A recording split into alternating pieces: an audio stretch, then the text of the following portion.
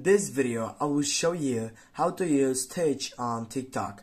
Firstly, you need to open up the application. You need to find out the video section in which you need to use that Stitch on it.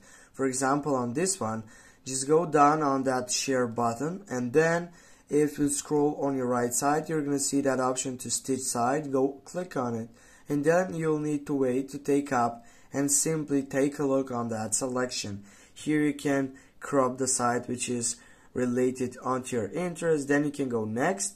And right after you get there, you're to be available to add something new right here. For example, this one. And then simply go on it. And as you can see, it needs to be at least 3 seconds. And right after you do that, you're to be available, as you can see here, to take up and take that stitch on it.